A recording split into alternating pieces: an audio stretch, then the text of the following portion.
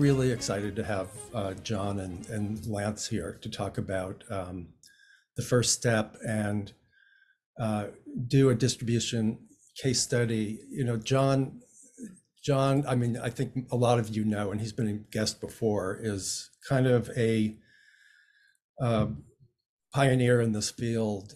Um, alternate distribution um, of of separating out um, your mark your markets and um, taking as much control over your distribution as possible, not just playing that game of trying to get into a big name festival and hope that a distributor you know will find it there and take everything off your hands. So um, and also they're going to make my job a lot easier today because um, they have a, a, you know 30 minute or so uh, uh, presentation with slides that they're going to give um, uh, and I want to make sure that I've told them I'm going to be timekeeper that um, I'm going to leave at least a half hour for for Q and A's for you guys. Um, I know there's there'll be a lot of questions. Um, so I just want to begin uh, before we get into the presentation, just a little bit of, you know, ask you, Jon and Lance, for just, you know, very brief uh, intro background, because we didn't put, uh, we linked to your bios in, uh, in our mailings, but I don't, who knows how many people actually hit the links. So, um, Jon, why don't you begin by talking about, you know, the work you've been, you're both, you're a filmmaker and obviously an author too of Think yeah. Out's box office. So Take it yeah, so I yeah, thanks, Doug. I'm so happy to be back on D Word, and you know it's great. I love the D Word so much, and you know. Um, so anyway, so I'm a filmmaker, but also um, I've been involved in distribution, frankly, since the beginning of when I started making documentaries. But really kicked into gear when I um, kind of created a path for my film Bomb It when the market collapsed back in 07. You know, the first big indie film market collapse.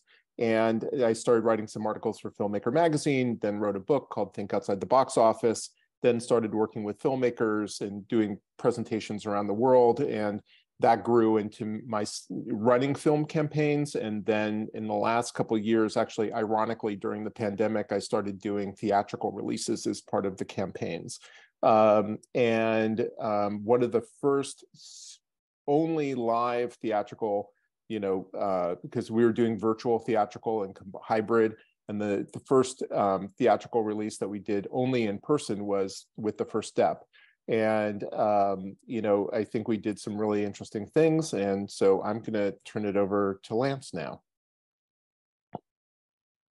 Hi, everyone. Uh, my name is Lance Kramer. Um, I'm an independent filmmaker, primarily producer based in Washington, D.C. Um, thanks Doug and Erica and everyone at the D Word for having us. Really, really happy to uh, to be here.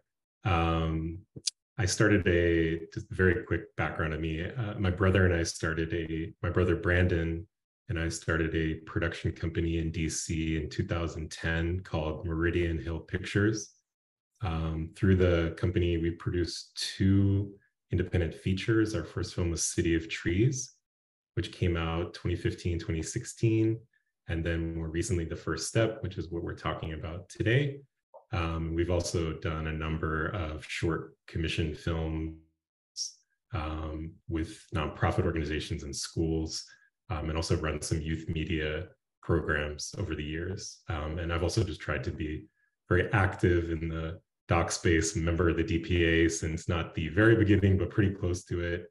Um, and Erica and I have also been involved in a lot of local and regional organizing um, on behalf of filmmakers in the area here in DC, Maryland, and Virginia. So um, really excited to dive into things here. Yeah, being modest, Lance, you and you and Brandon are the Coen brothers of the documentary world. So um, uh, why don't you why don't we begin by just telling us how you know where did this idea for the first step come about, and how did you um, you know, how did you go about uh, filming it? Sure.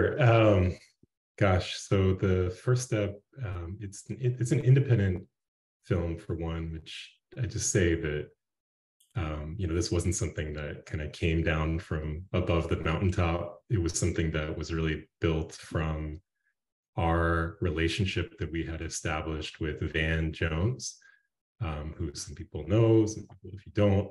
He's a uh, political commentator and activist. Um, has worked on a number of different issues, but in particular has been a criminal justice reform advocate for the better part of the last 25 years. Um, he was a executive producer on our first film, City of Trees, and uh, we got to know him really well in the process of making that film. He's not in the film, but he helped behind the scenes. And then we made a short web, or we made a web series with him in 2016, independently as well, um, called The Messy Truth, which was a series where he went to the homes of Trump supporting families and tried to model how to have conversation across political divides. Um, it was a three part series. We self released it, it before the 2016 election cycle, which I feels like a little deja vu that, that we're almost in 2024. And in some ways, it still feels relevant. Um, but uh, nonetheless, we self-released the, the series.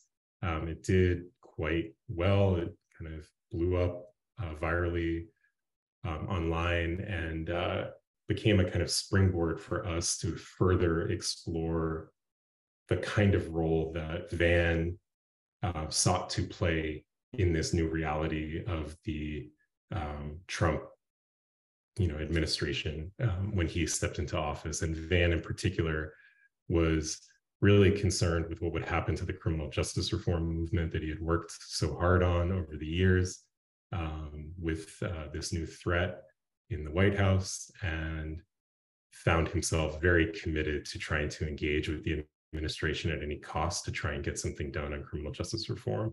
And we felt that that was a really rare and important story to try and tell. And that was the springboard for uh, what became the first step. There's a lot of other background, but I'll keep it keep it at that. Yeah, this is a great case study because you know uh, most everyone here we're, we're we're typically not the kind of filmmakers who you know Netflix comes you know or HBO comes down and says, hey, uh, we have this great idea, follow Van Jones around. Um, so um, so you're really in a sense starting from scratch which is where a lot of us are when we do mm. these. Um, so at what point did you bring jon on? Um, and you brought him on as a consultant? Um, I as met Jon, producer? Yeah i met jon actually through the dpa about a year ago. Actually i think it was last september to be precise. Um, we at that point had been the film had been kind of out so to speak in the world for about 14 or 15 months. Um, it premiered at tribeca in june 2021 it was a virtual premiere so it was at the tribeca at home virtual slate in june 2021 and we'll get into this a little bit more in the um, presentation, but we had been focused on festivals for about, you know, 12, 14 months. And um, even after having done what at that point was over 40 film festivals, we did not have distribution prospects for the film. And we were honestly pretty stuck. So um, I was really fortunate to meet Jon at a point where we were feeling really grateful for the response that the film had got in the festival world and certainly the way that people were responding when they saw the film but really frustrated and burnt out by the absence of prospects for right. getting beyond the festival world and that's that's when i was really enlightened to learn how jon perfect. operates yeah this is perfect for us because you know we're told so often you need to prepare for your marketing and distribution outreach from the very beginning. Um, and so many so many filmmakers come on our our face to faces and go like I'm I'm like in my festival and I don't know where to go from here. And so so Jon, um, before we get it, just a question for you before we go into the presentation. What um, coming in at that point, where did you think you could help most in in getting the film out and get attention for the film and and and find and, and what kind of distribution? Did you always have theatrical in mind?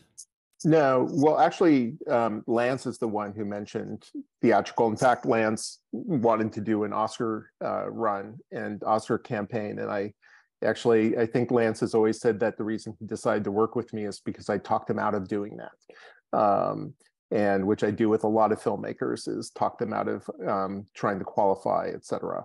And um, you know we had just had some experience doing some really good experience doing theatrical and lance expressed interest and we'll get into this later like why lance's film was we felt lance's film was suited to doing a theatrical. I mean i'll just you know because he had already developed strong support with organizations and he felt that and i agreed that the theatrical would help raise the profile of the film with those organizations. So just to give a preview to that which is coming up but um and it's like i always you know to me and what we're going to present is kind of like kind of like part of like my basics of like how to approach a film and like when thinking about distribution and marketing and um, so I always feel like that there's a path. I kind of feel like there's a path for every film.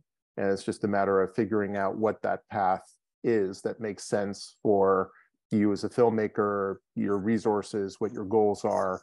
And um, here, I'm, or you're going to see repetition in the slides already, but I can't stop well, saying get, this. You know what, no, no, no, it's okay. It's like, let's it's get like, right what are your, where are you at? Where's your film at? Like, what are your goals? What are your resources? Like those are and then you work within those parameters and figure out what the path for the film is. Mm-hmm. um, and so i think that's and i just think a lot of filmmakers aren't familiar with that and you know can be helped by you know you know someone like me with experience and seeing a lot of films and working with a lot of films. And you know and i think that's where lance and i you know kind of hit it off and you know um yeah. Okay, so let's um, let's go right into the presentation then. Yeah, right. sure. Okay. So uh, let's see. Hold on, I got. Sorry, I just got to pick the right screen. There we go. Okay. All right, so it's there, right? okay. Yep. So, um, all right, so basically, you know, my one of my fundamental, you know, things that I'll say, you'll feel me saying all the time that every film is different and every filmmaker is different and every film deserves its own unique um, distribution and marketing plan and path. And that I guess, as I just said, that every film has has a path. You just have to figure out what that path is. Um, so for me, you know these are the essential components to figuring that out some of which i've already said. And what if you if we work together and lance is probably sick of this by now um, like what are your goals? Like every time a decision comes up like what are your goals? And um, and we'll talk about that in a second. What stage you're at what unique attributes and assets does the film have um, looking at the different rights paths that are available, especially in terms of split rights, because in most cases, for most films these days, especially, those all rights deals don't exist. And that's about all I'm going to say about all rights deals for the whole presentation is that they, for 98% of people, they don't exist. And I think even in the golden age of documentaries, for 95% of films, those all rights deals didn't exist. The this myth of this golden age, I was just talking to someone who's pretty prominent in a film organization.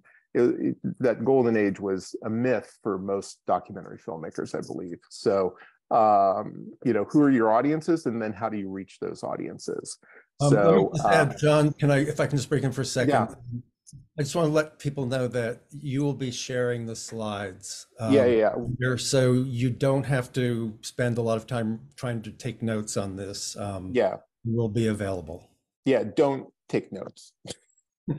you know, just uh, we'll send you, you'll get the slide deck afterwards. So, I mean, if you want to take notes, but you know, um, go ahead. I'm not going to be dictatorial about that, but um, so the you know fundamental thing to me is goals. And many times when i talk to film what are your goals? Oh i want to be on netflix. Oh i want a streaming deal. Oh i want this. I want a theatrical release. I want those are tactics. Those are not goals.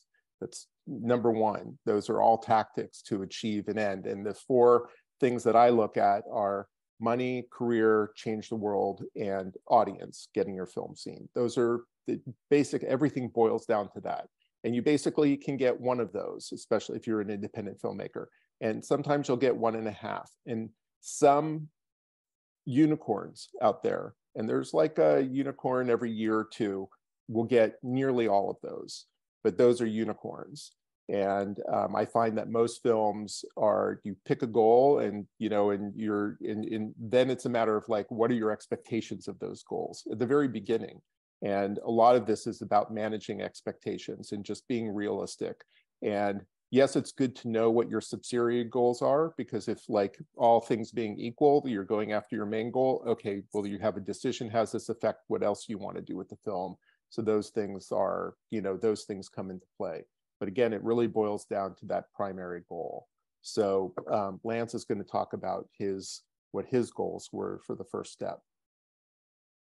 Sure. So just a little bit more about um, just what the film ultimately is about. I mean, I started to tee it up a little bit with Doug's question, but um, you know, the way I would, it's about a lot of things, but uh, what I would maybe distill it down to is that the film follows a uh, bipartisan coalition, which included VAN, but certainly wasn't limited to VAN, um, of, of advocates who came together um, during the Trump years to pass this bipartisan criminal justice reform bill in what we all know is a super divided political climate, not just in DC, but obviously in the whole country. Um, and so the film is really this very personal story about the complexities of building bridges or trying to build bridges in a divisive era um, to help people who are impacted by injustices like the criminal justice system and um, large problems like the uh, addiction crisis. Um, and, uh, you know, initially going, building on Jon's uh, uh, list, you know, maybe naively or foolishly, we thought we were one of those unicorns and thought that we could do it all. Um, every every filmmaker goals... thinks they're a unicorn. So, so there you go. So which is like, you know, you give birth to your baby and your baby is the most special baby and in the whole world. And there's never been a baby like your baby. And your baby is going to go on to become a Nobel laureate multiple times and with multiple PhDs and, you know, and become a billionaire. And, you know, and that's what your baby's going to do because it's your baby. And, th- and that's totally understandable, you know, because it's, you know, we are creative people and we, you know, if you don't feel that, then you probably haven't finished your film, to be honest. So sorry, go ahead, Lance. Um, so we had a, we had a rude awakening that uh, we were maybe just uh, normal in that sense, um, but uh, but it was a very important uh, type of clarity because I think once we got clear on what our goals were, that's really what gave us the helped us see the path forward.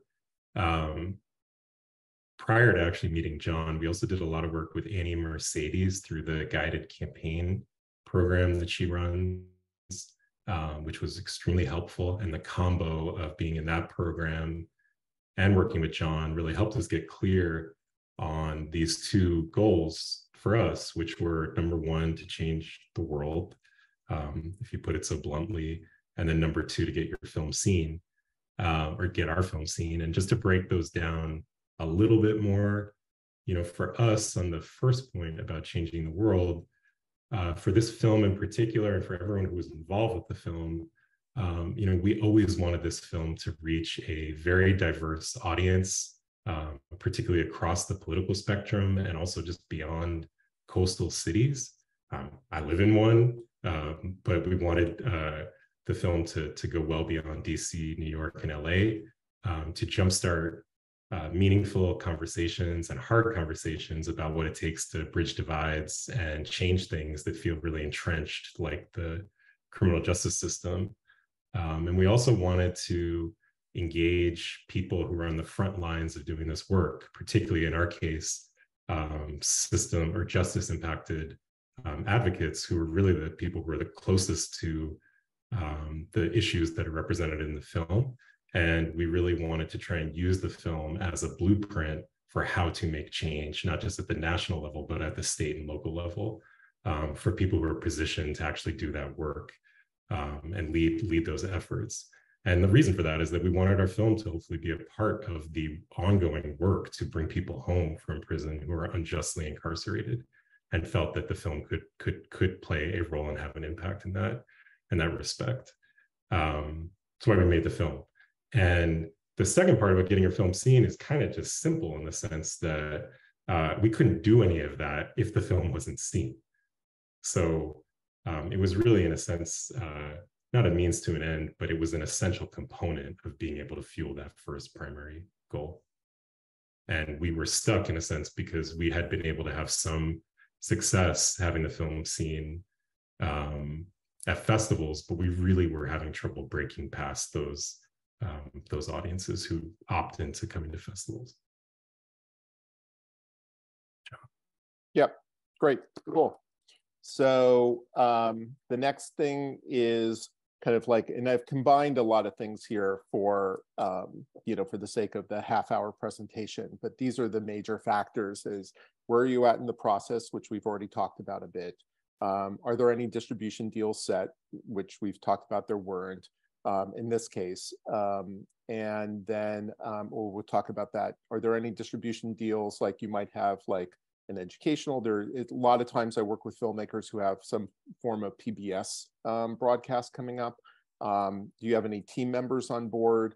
What assets do you have available, which would include resources? Do you, what is essentially like, what is your time commitment? What time do you have to devote to this? And then what kind of monetary resources do you have? What combination there is for that?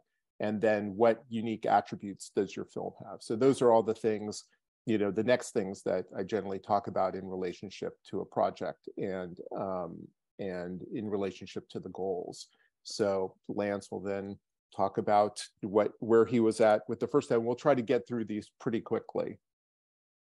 Yeah, I'll try to run through our stage as much as I can. So as I mentioned, you know, when Doug was first asking the questions, when we started working with Jon um, was about 15 months after our world premiere um, you know, as far as where we were at beyond that, you know, the film itself had taken five years to make.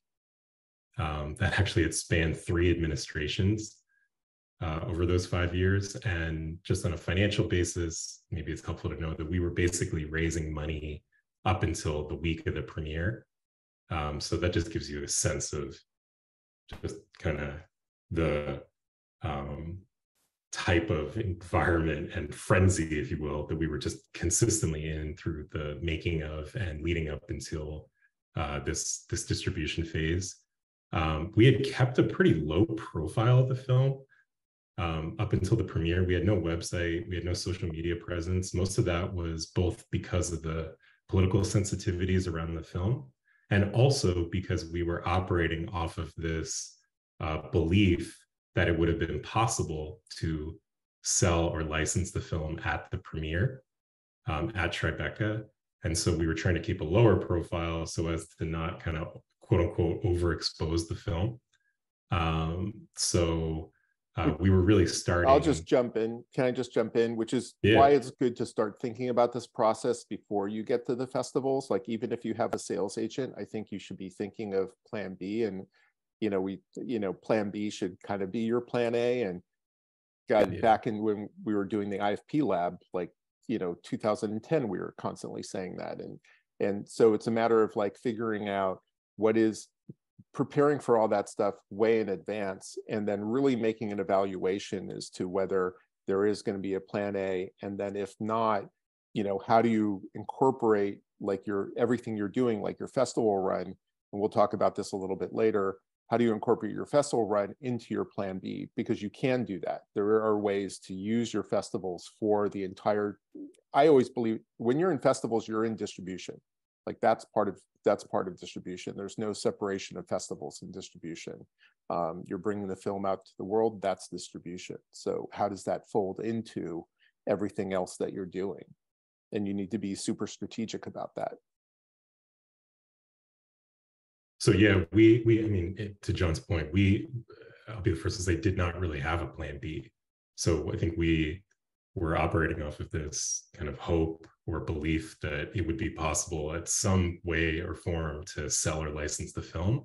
Um, it was our first time working with a sales agent for a premiere, and I thought I was kind of doing all the right things and positioning the film as well as we could for that. Lo and behold, the agent worked really hard, um, but we didn't have any deals on the table, and in fact, came up against a lot of challenges um, on that front, which I'm not going to go into now just because of time. But but suffice to say, it was very challenging, and we walked away with no prospects at all um, coming out of that premiere.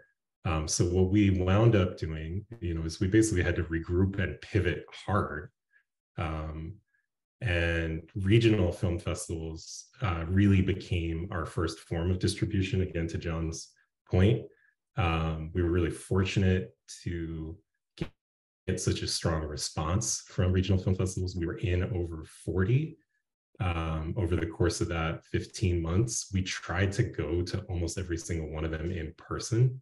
So even though we had had a virtual premiere, um, most of the other subsequent regional festivals were uh, in person. And between Brandon and myself and other people of the team, we tried to attend almost all of those. Um, and that was in over 30 states as well. Um, and uh, I think that the, the important things to just highlight for for for this you know slide um, and these ideas is just that we learn so much through going to those festivals. Um, we built a really strong network, not just of people in the film world, but also grassroots advocates all across the country who were very proximate to the film and its issues um, and doing work on a community level. We tried to invite them to as many of the screenings as possible, not just to help get the word out, but actually to appear on panels. Um, and it kind of became a de facto place to test our impact and engagement strategies because um, we basically used the film festivals to try and pilot different ideas for impact um, on the fly. And we also just understood or came to understand a lot about how different audiences um, responded to the film.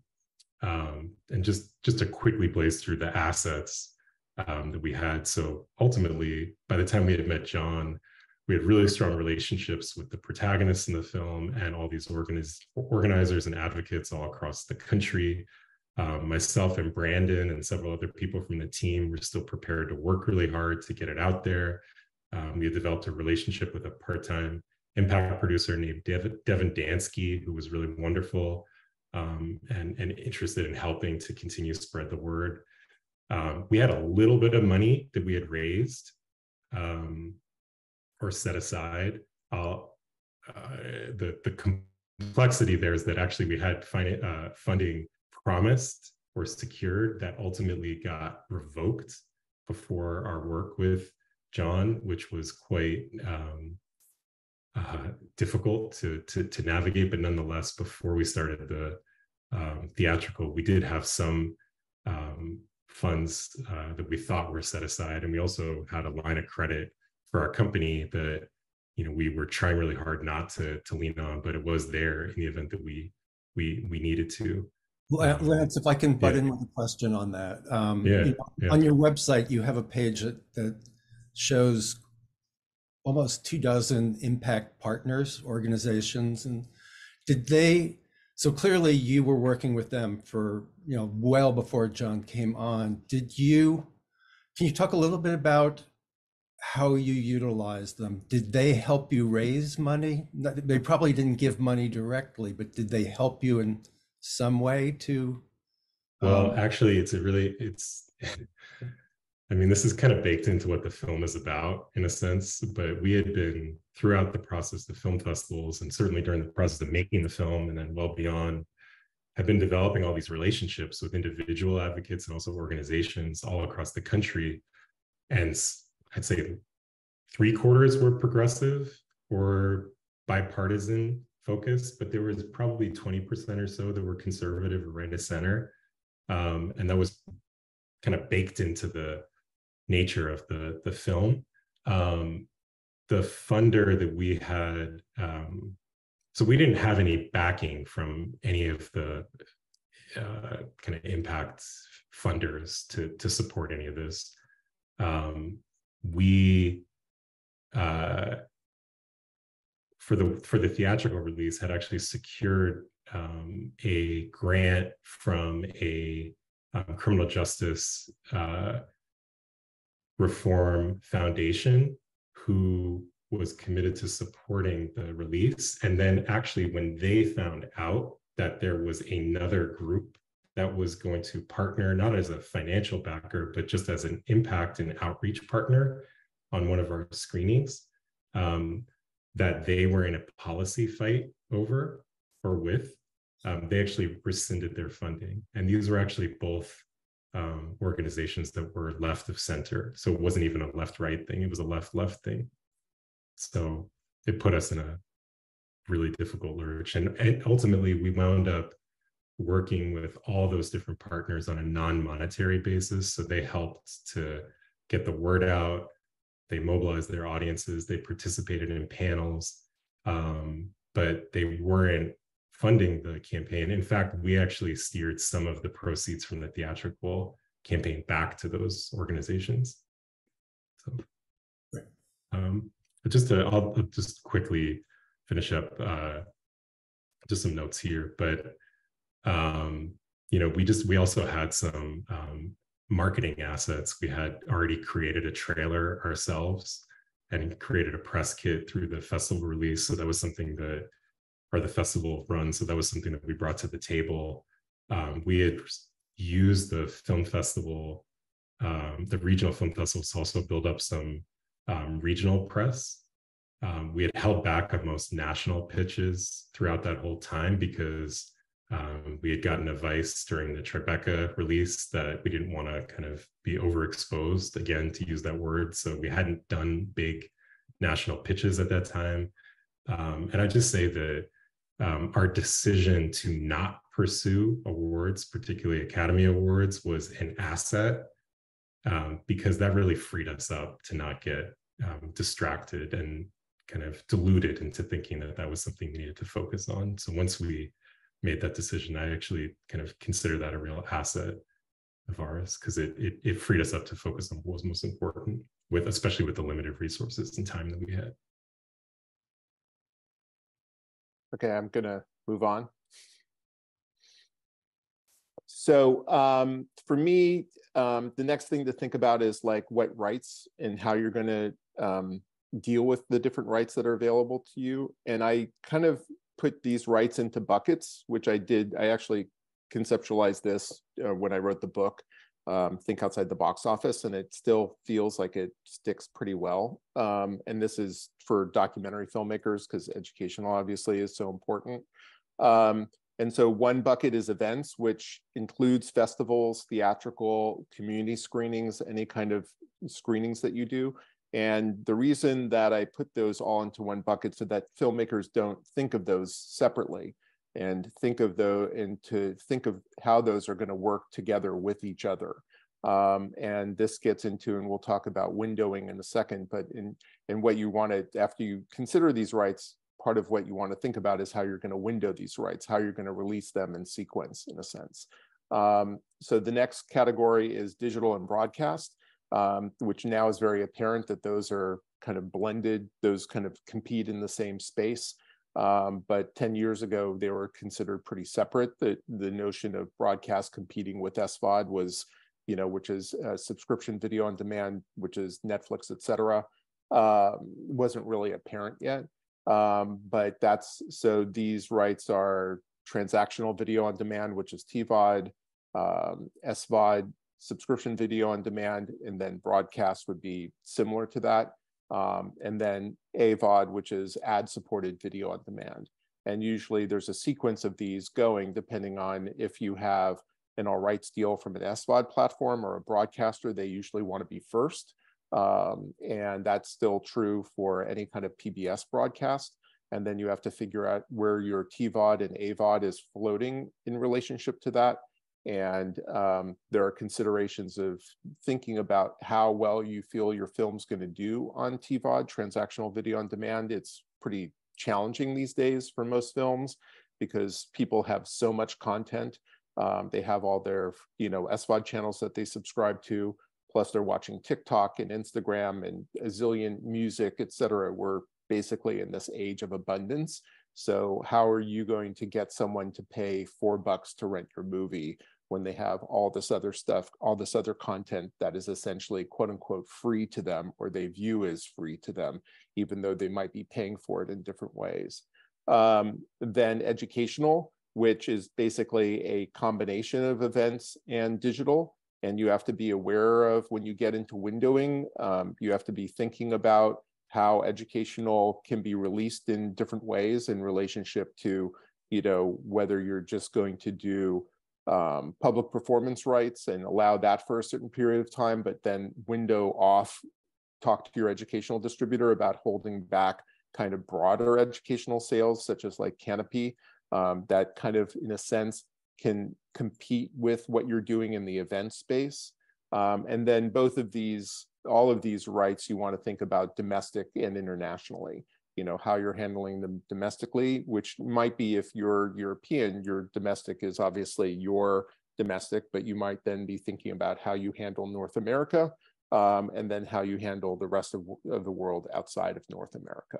So um, the next thing i want to talk about um, is what because theatrical was such a big component to the first step is what kind of considerations and things that you should be thinking about in terms of doing a theatrical release. So the, primarily the big thing is whenever considering the, any kind of thing that you're doing is how does it work with your goals and does it make sense? Um, another aspect that's important, the, one of the main reasons to do theatrical is if it's going to trigger press. Um, one of the early um, virtual theatrical releases we did was for um, Two Gods um, um, by the Ali brothers and um, they already knew from their festival release that there's going to be some press around it. And just by doing the virtual release, this is in the golden days of virtual releases during the pandemic. You know, basically for very little cost, you could do a virtual theatrical release, and it triggered Critics Pick in the New York Times and a slew of other press. And that was a huge benefit to the film in a variety of, you know, how it was helping them meet their goals.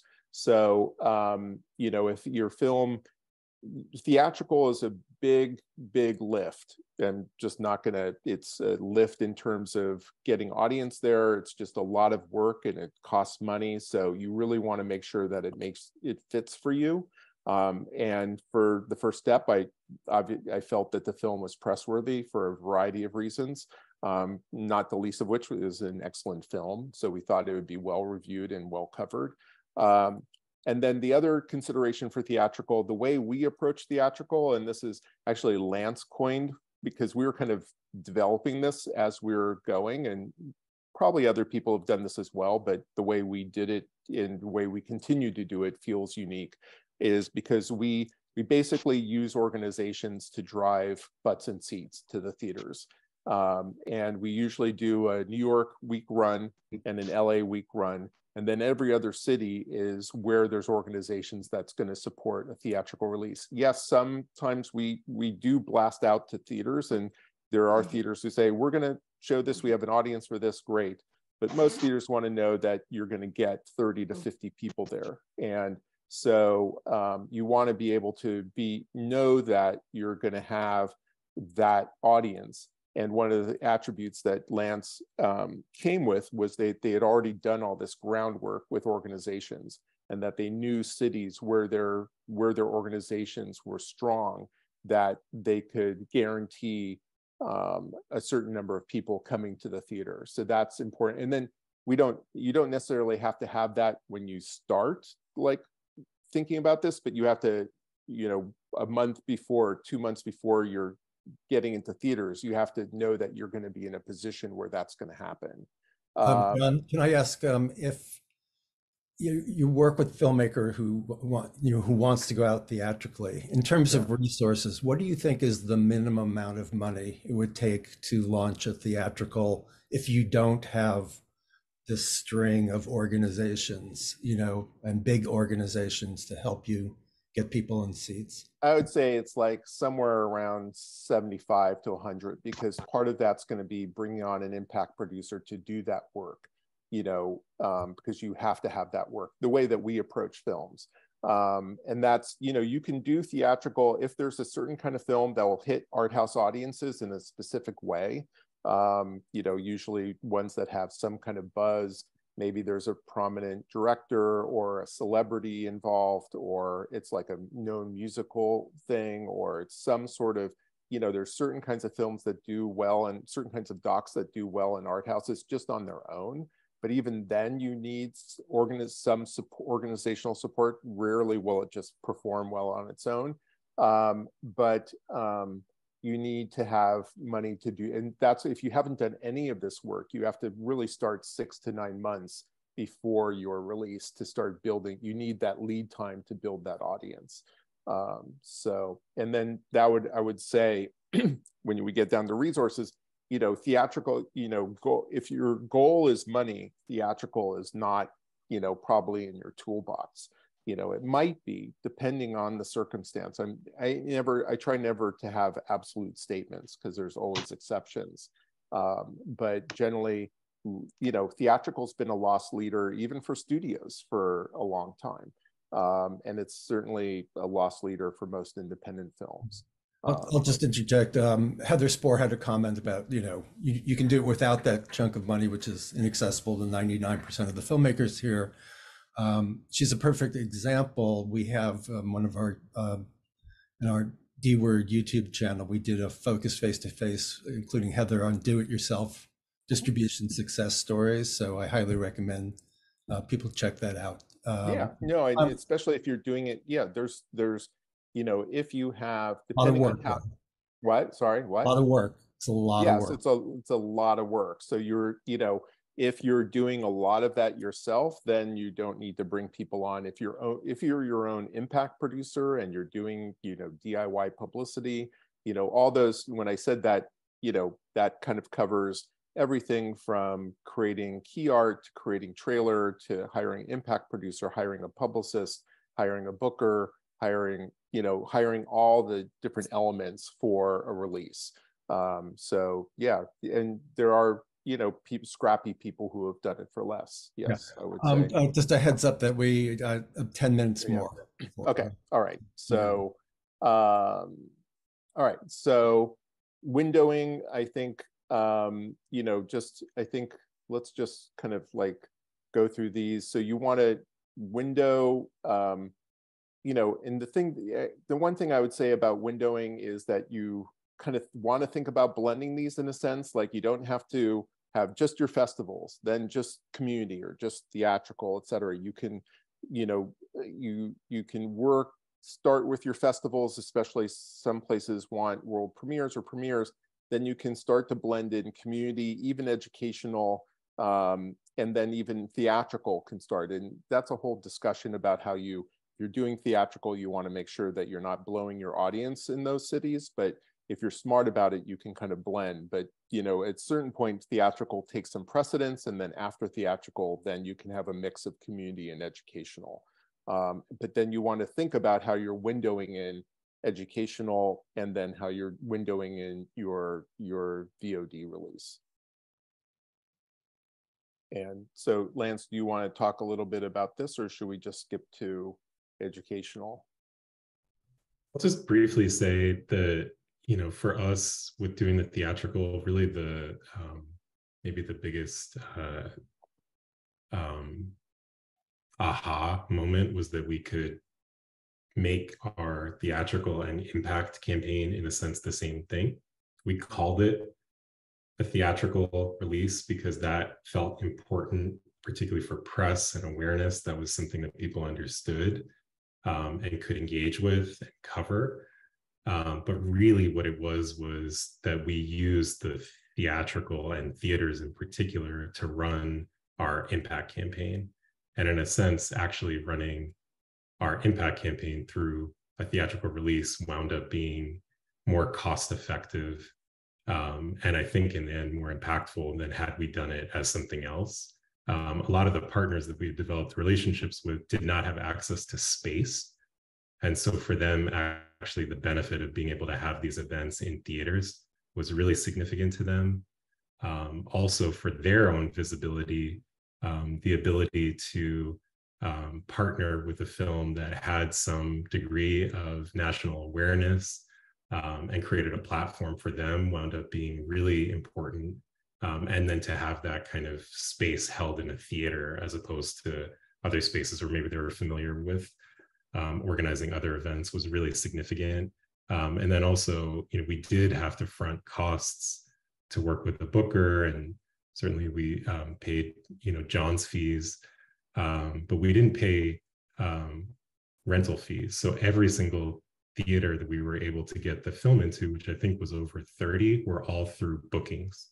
Um, and that was really, really um, a, a, surprising thing to me that we could have um, that kind of response from theaters.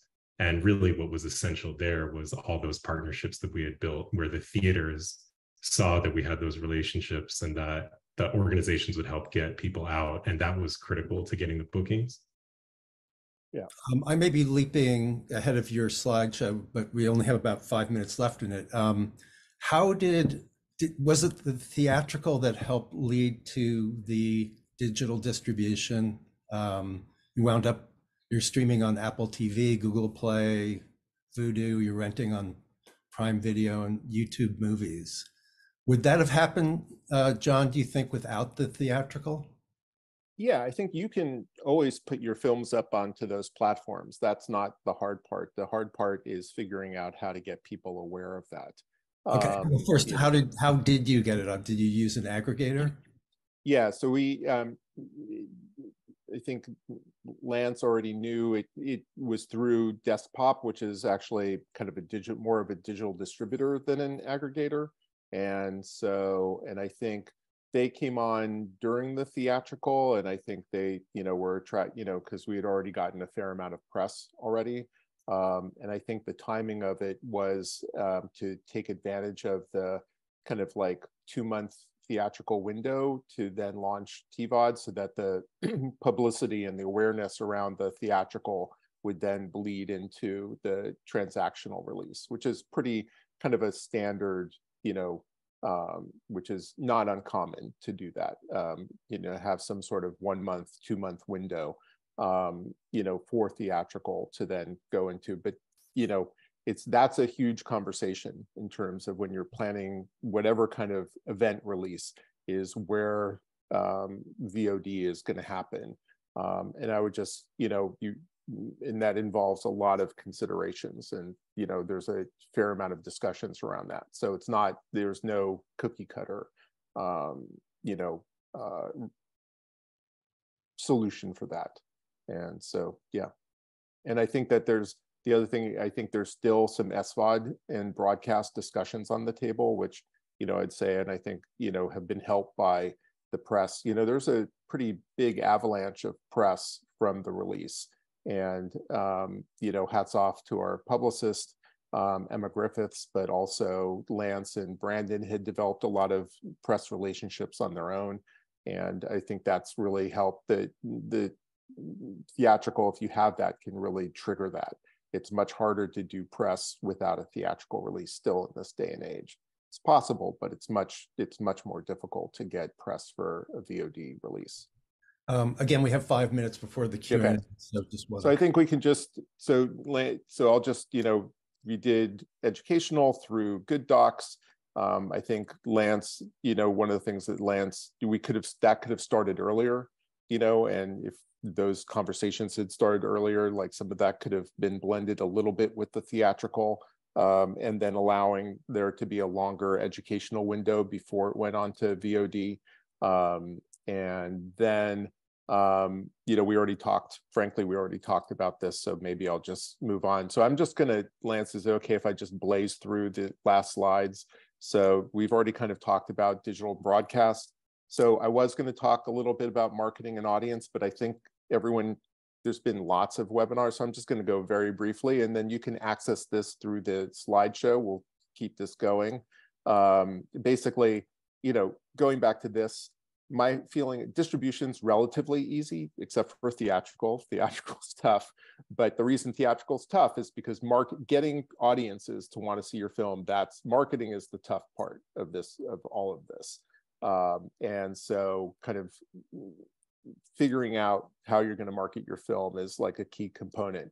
And it's for me super important to go after niche audiences and so the niche audiences for the first step were basically people interested in criminal justice reform and people interested in bridge building. Those were the key niche audiences that we went after. And then within each niche, you want to go after a core audience. So in this case, for criminal justice reform, it was organizations who are organized around criminal justice reform, which then pushes out to people in, that are interested in criminal justice reform. And this is super simplified. There's a lot of other elements to this that are in play, but just to keep it very, as far as, you know, illustrating how this works, that's, I think, fine. And then, so to reach your audience, there's this, you know, one model is this PESO model, which is paid, earned, shared, um, owned media. Uh, a little trouble with the PESO model is that it puts paid first, which is not the case with most independents paid's a component, but especially like, for instance, in most filmmaker, and you can look at this slide will be in the deck, so you can look at this um, later. But for the first step, the, and for most films, it's this shared mode, which is organizations and social media um, are key ways of reaching your audience. Then the owned resources that you have, which is your own email list, which I'm a big advocate for, like if you hear me talk, I'll talk about that ad infinitum, your website, and then the content that you create. Um, earned media is your press, which was a big factor for the first step as well. And then paid was somewhat of a factor. Um, and paid's a bigger factor for big brands and for studios. It's if you don't have a lot of money to throw into paid ads, you're looking at those other three elements. And the reason I like this model is because it helps you organize your thinking around how you're going to approach audiences. Um, and then, you know, but in this, this discussion could go on hours and hours, but I'm just trying to like wrap this up. So I'm going to not hog it completely. I'll get, let Lance talk about the results and then we're nearly done. Um, okay, so we'll just wrap up um, at least this first part of the the talk um, through the course of the roughly six weeks that we did a theatrical.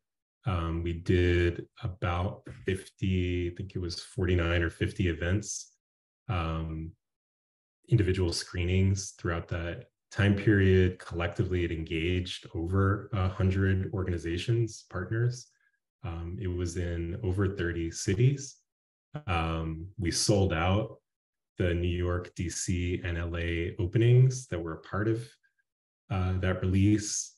Um, the coalition within those 100 organizations was really diverse and quite broad. We had some events, particularly I'm thinking of in Arizona, where the film's release was co-sponsored or co-partnered um, by uh, by uh, the ACLU and a organization that was backed by the Koch brothers that focuses on criminal justice reform. So you had very solidly left of center progressive groups, in some cases partnering with solidly right of center groups to co-present the film and have these really hard, um, but I felt quite important dialogues um, around the issues in the film. Um, those dialogues also wound up collectively um, advocating for over a dozen bipartisan criminal justice reform bills in states across the country um, we tried to use those screenings as activations for those bills in particular. Um, you know, Jon mentioned we were able to secure a bunch of national press for the film. We had a um, coverage in the New York Times and Politico, LA, LA Times, The Guardian, a bunch of other um, regional publications. Um, some of that, very much to Emma Griffith's great credit, came through her hard work. Some of it came through contacts that we had built along the way, and we just tried everything we possibly could, um, you know, collectively to to secure press. Um, and then just on the long tail, um, you know, as we talked about before, it did help certainly to do the theatrical um, in getting the relationship with Deskpop secured. Um, as as Jon mentioned, I think we could have. Um, there's you know Film Hub and others that you can work with um, without going through all this um, this effort to do a theatrical. But the Deskpop relationship was assisted by the theatrical because they saw how doing the theatrical could help them with making um, additional SVOD and AVOD and broadcast pitches, and also could help the eventual performance of a TVOD release. Jon, so um, Lance and Jon, if if you don't do a theatrical and you're just trying to get out to a digital release, yeah, what, what does an aggregator generally charge for their help? Well, I could tell you, like, just on, I mean, and Jon knows about this more, but um, we actually just put City of Trees up on Film Hub, and it didn't cost us anything. They didn't charge any film fees up front. Well, so at least in that experience. Yeah, so I so I think that let me just break it down so that they'll it takes a usually they'll take a percentage and then it's a matter of expenses. So um, those are the two main cost factors just to simplify everything. So yeah. and the percentages range from 20% um, to now 50%. A lot of digital distributors are taking 50% even for TVOD, whereas that would have five years ago, you would never hear of any digital distributor taking 50%. And I think part of it is because the business has become so hard. Um, and then so they take 20% usually after um, expenses. And so like for Film Hub doesn't take expenses. They just do straight 20%, but others will take some sort of expenses for encoding fees. Maybe they do a little marketing. Usually I would advise capping those expenses when you're doing your deal. Um, and you can usually argue to cap those expenses because it really doesn't cost distributors that much to encode your film. Costs so it's max it should be 2000 2500 to for encoding costs um, so that's the very short answer to that so right. i did pop up the slide to shamelessly promote i uh, encouraged you to do it so yes so um, I'm starting a distribution intensive. Um, one of the things I left out of my bio, I helped start the IFP Filmmaker Lab, um, and then I ran it for 10 years. And then, I, as you know, I've done a lot of teaching, and I really feel like, especially since the landscape's so broken and so many filmmakers need help, that um, I still do one-on-one consultations and still run campaigns for filmmakers. But to to a, a lot of filmmakers have mentioned um, that they felt that you know doing a group session where people can also learn from each other. And so each week for six months i'll be doing a presentation or reviewing people's materials and then doing a group discussion you know with a cohort of eight to ten people um, and then some of the people will be approaching distribution, but I think some of the people will actually be in, just, you know, some of the people will actively be in distribution. Um, and we'll be covering everything that we just talked about plus more. Like when I listed out all the topics to do as presentations, there's actually more than, you know, I'll be combining certain topics on certain weeks because there's so much obviously to cover as I've been going so quickly. So it's going to cover all aspects of marketing, and all aspects of distribution, but related to, you know, there's going to be principles laid out, but then it's going to be a discussion around how that relates to your film. So um, I'm going to be doing, you can, on, on my website, and maybe I'll just even, you know, flick over to this in my, there's, this is all in the, on my website. And then on the website, you can go down and I'm going to be doing um, informational uh, webinar coming up in the next couple of weeks. And then, but sign up for it, I'll let you know. And then you can also then just apply for it. So, um, so yeah. Um, by the way, yeah, you might want to look in the chat. There seems to be a typo in the link for your intensive, Jon. Um, oh, we are going to go. Just, I will drop the link in the chat then to make sure so um, thanks. We're I have plenty of questions myself, folks. I only see one. I, will take it off share now, right? Yes, we please, don't need. Do. Yes. Right. And um, now we're going to give it over to questions from you guys. I only see one hand raised, so I have plenty of questions. I'm not shy about asking, but uh, uh, this is your opportunity. Oh, good. Okay, here we go. Uh, Irina, you're up first. All right. Hello. Can you hear me? Yes. Yeah. Okay, excellent. Thank you so much for a great presentation. Really appreciate all of the information.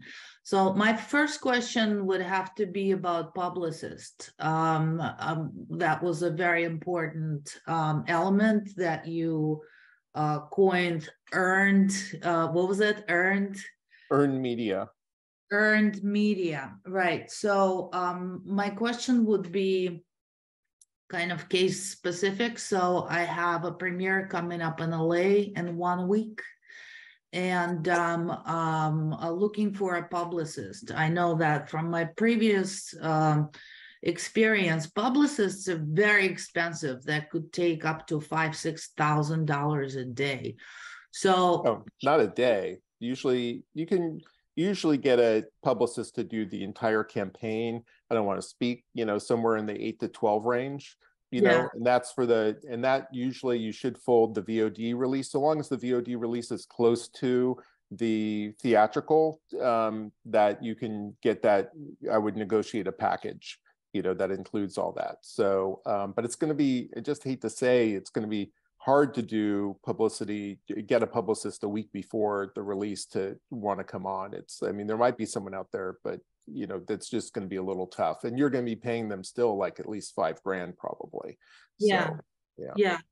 Um, any alternatives for like a really super low budget, just so that I use the opportunity somehow?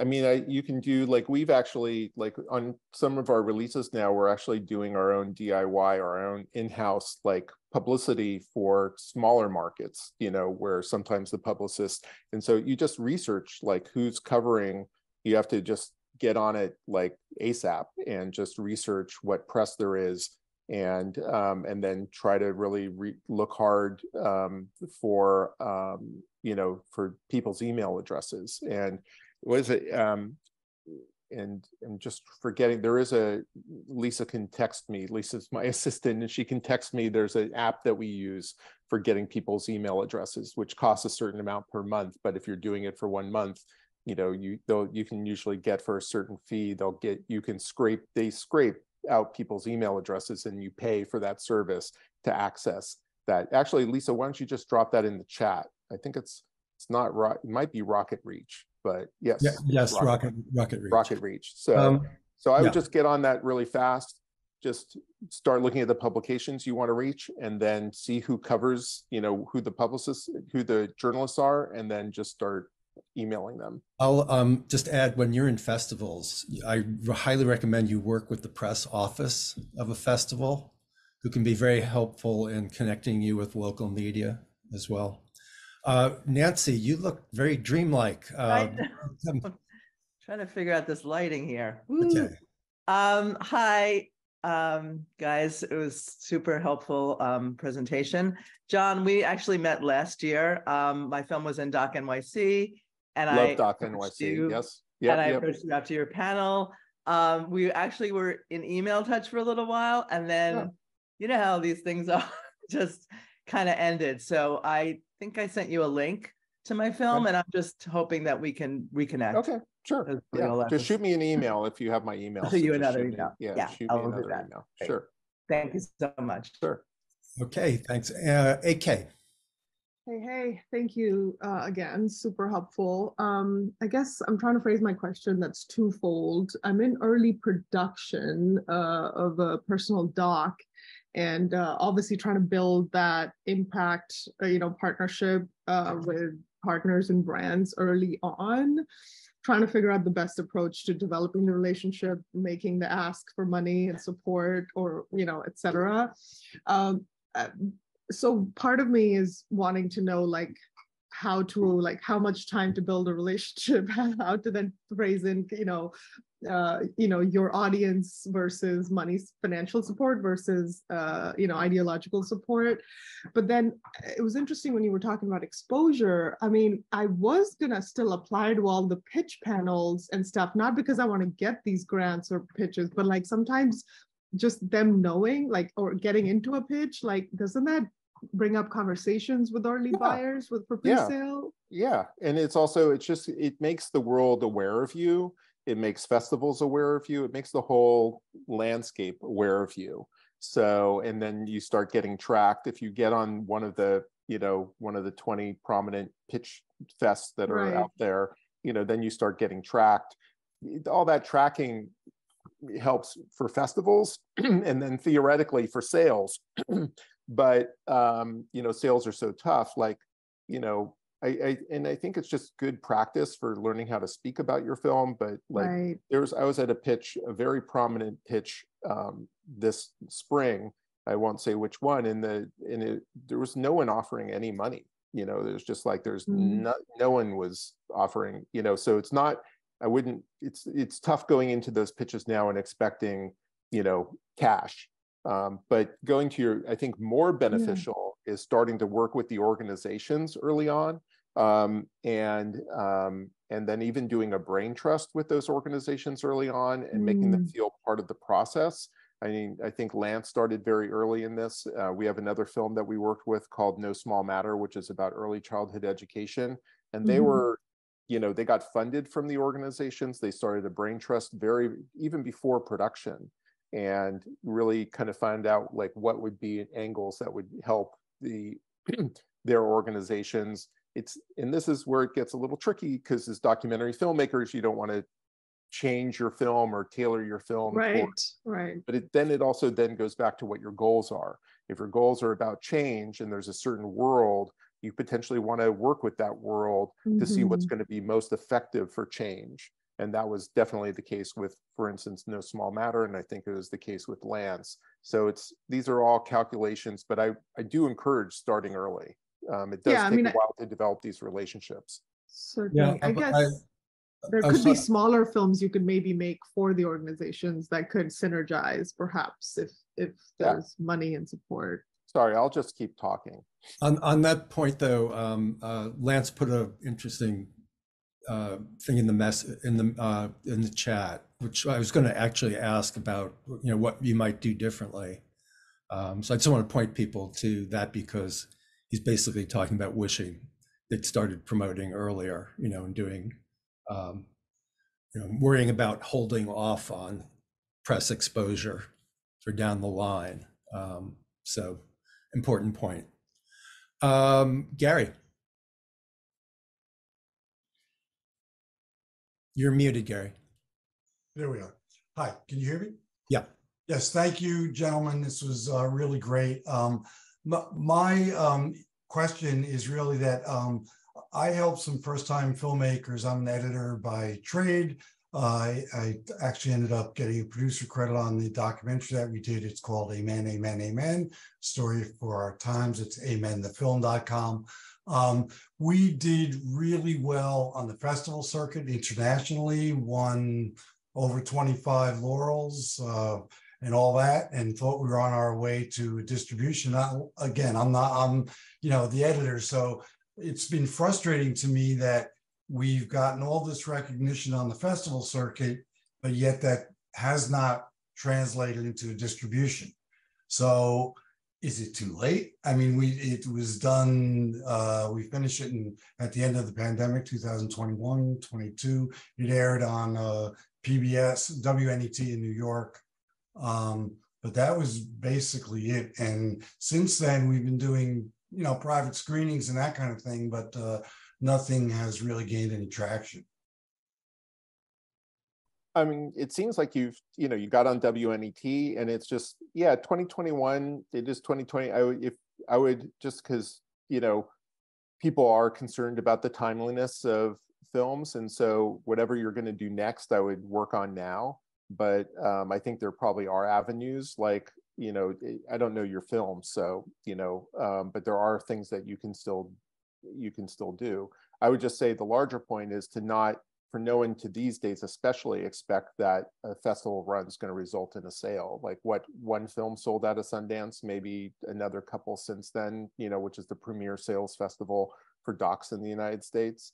And um, it's just not that time period. So don't have that expectation have the expectation that you're going to have to figure this out.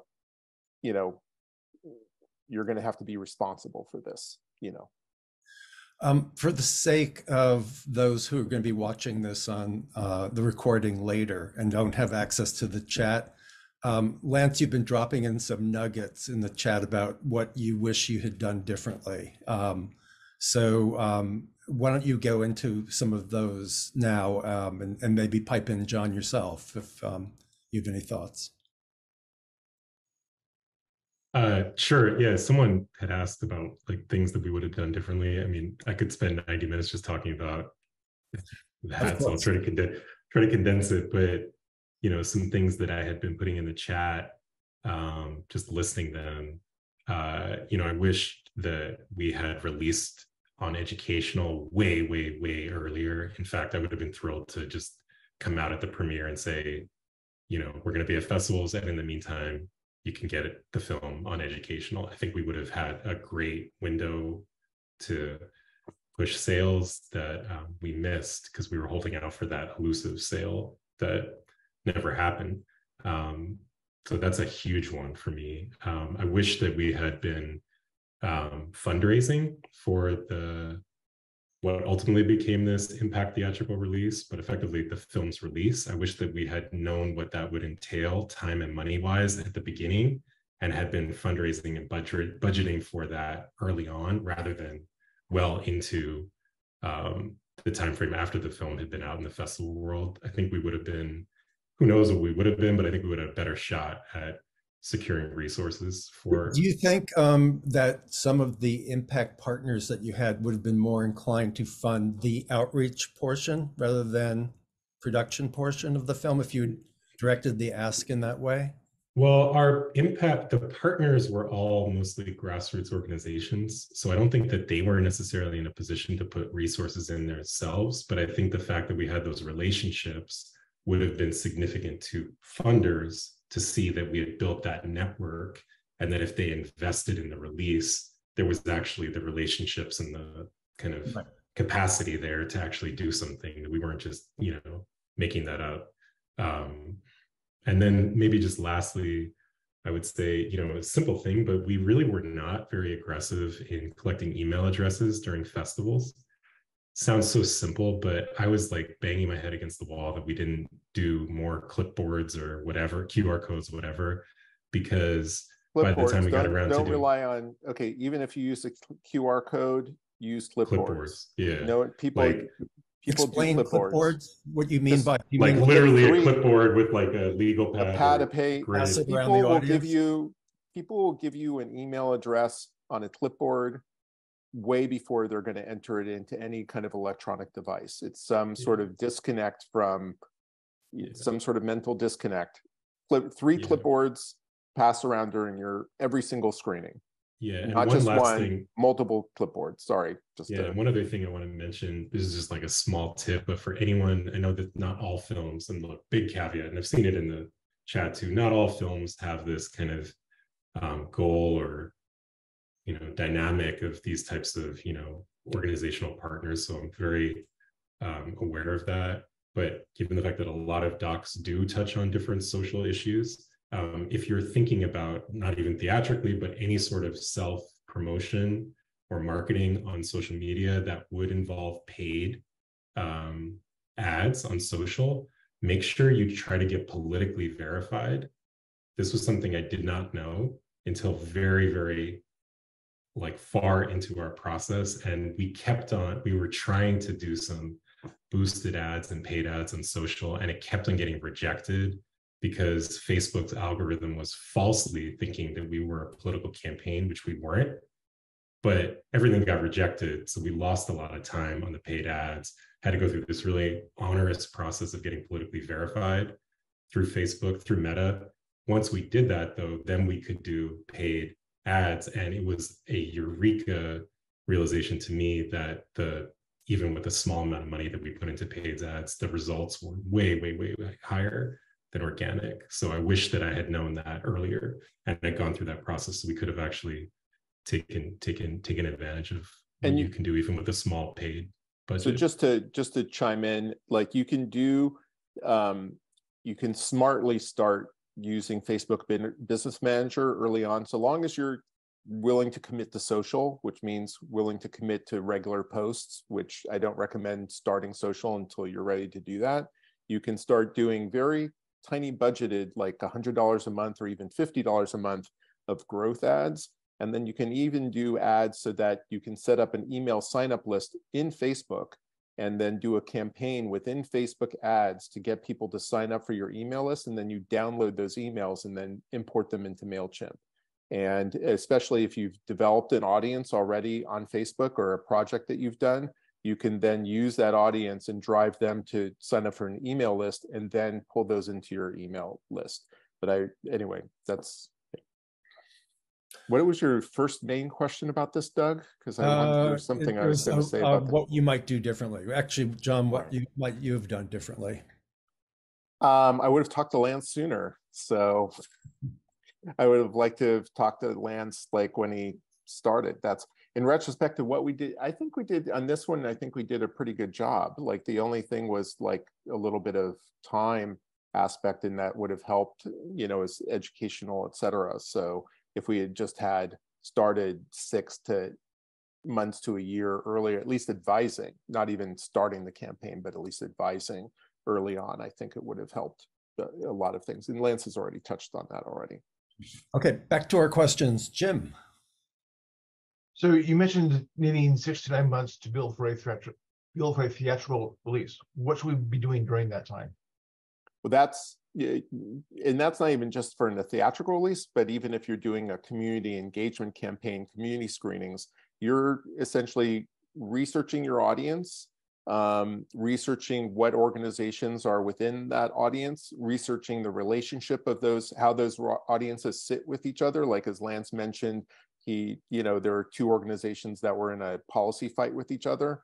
Unfortunately, on the left, which is a lot of where all these organizations reside, there's as everyone knows about the problems with the left is that we fight with each other or and so you have to figure out all those politics and then figure out the relationship of national organizations and local organizations and how so all this kind of like quote unquote impact work this to me takes that's what takes time. It usually takes several months to start creating these relationships and also to get a sense of where these organizations these organizations are thinking a year in advance six months in advance. So if you're just coming to them i have a film and you know we're releasing in two months most of them are just going to roll their eyes and you know not engage with you. If you are a unique film and they're a unique audience and they've never had a film speak to them you have a better shot. But if you're working within a space where there have been other films made you know you're going to have you the more lead time you have anyway long answer to a short question is you're doing all this audience development work with organizations and then also directly to your audience um, you know in that time period um, Lance and Jon, are you willing to go a few minutes over? Oh, or, I was going to say earlier, I'll go as long as you want. Like I love doing this. This is like I, it just makes okay. my day. So if you guys want to stay another half hour to an hour, like uh, I I can't, but uh, maybe. But that's that's well, let's see. Uh, thank you though, Peter. Hey guys, um, you know I I think for a lot of us who are making more personal films and you know looking for social impact as well as you know sustainability um, your your stories and your films and your wide long tail distribution. I mean, it's beautiful stuff. I'm curious, bottom line, were you guys able to make money on these? Were you able to break even, make money, pay yourselves?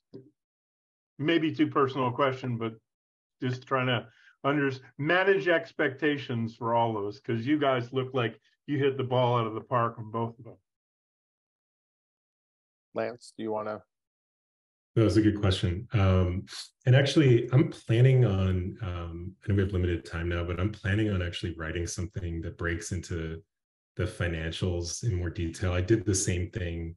Um, I'll drop into the chat. I kind of opened up our books on our first film, City of Trees, and did an article um, in Documentary Magazine a few years ago that just literally broke down all the income and expenses. Um, so you can find the budget and everything. I'll, I'll drop that in the chat so you can um, see we were in debt on City of Trees. Um, um, and part of what motivated me to figure out a different way on the first step was figure out could you make a film without being in debt at the end. Um, the accomplishment for us was that by the time we hit Tribeca, we were not in debt. And I was kind of quite proud of ourselves for figuring out how to make the film and break even pre release. And then we actually wound up going into debt only on the other side of the premiere release, where we were not able to secure distribution and had to figure out some way of still releasing the film into the world. So that's actually where we um, wound up encountering the debt, which frankly we still are sitting on. Yeah. When it look, when I looked at all the list of all the cities that you're going to, you know, creating events for and going and talking in person, I mean, I imagine just travel costs and, you know, uh, wherever you're staying must add up. Yeah, a lot of couches, yeah. miles. Some friends actually bought plane tickets for us in some cases, you know, some things so like the, that.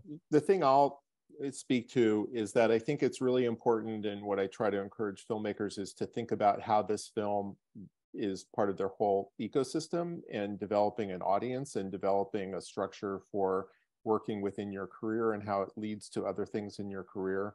And that's why, you know, I feel like this kind of split rights direct distribution enables you to do things. Whereas when you make, you know, if, if look, if an all right sale pays for the film plus gives you extra money. That's wonderful right? But in lieu of that how do you use whatever release that you have to help make yourself you know lead towards something sustainable developing a relationship with an audience?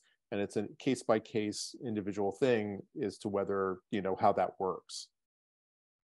And that's why the importance of building an email list is is uh, it's, the other thing I'd say, yeah, yeah, that that's true. But the other thing I'd say is like I do feel like it's important to plan and budget for distribution and to raise money for distribution while you're and think of that as an equal component to your production budget. I know it's very difficult being a filmmaker. Like it's enough to scrape the money to make the film, much less think about distribution.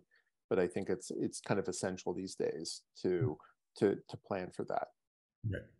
Uh, Ethan. Hi. Uh, so my question is about education.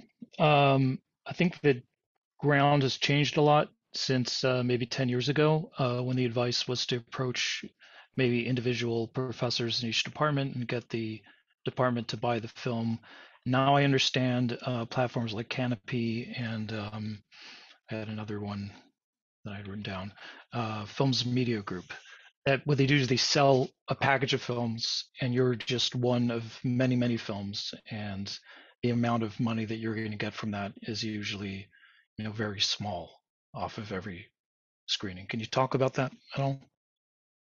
Um, just very briefly i think um, the direct licenses um, have kind of sprung back and i think you can still the edu- a good educational distributor if you want to diy this but you know, I it's DIYing educational stuff, but I think that there are departments that are still ordering films. There's still professors that are ordering films. There's libraries that are ordering films, and so I think that's it. Really collapsed during the pandemic for a variety of reasons, but it is a bit on the rebound. Um, at least my discussions with educational distributors.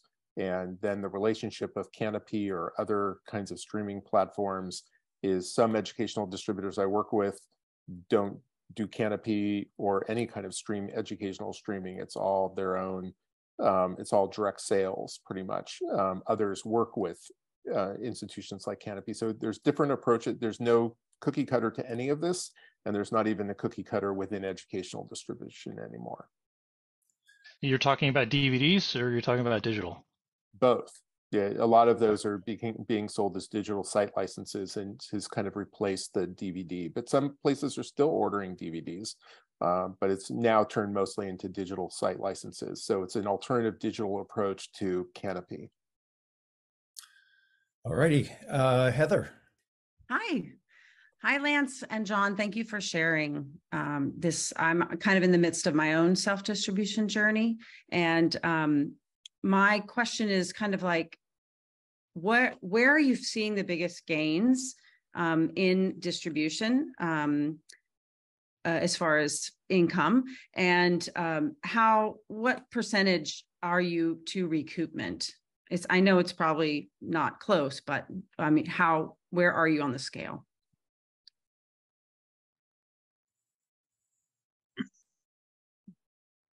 Um, I would say that, gosh, I don't know the exact numbers in front of me. We're probably somewhere like 10% to recruit yeah, recruitment. So as a, oh, I think someone, you all hearing? Yes. Okay.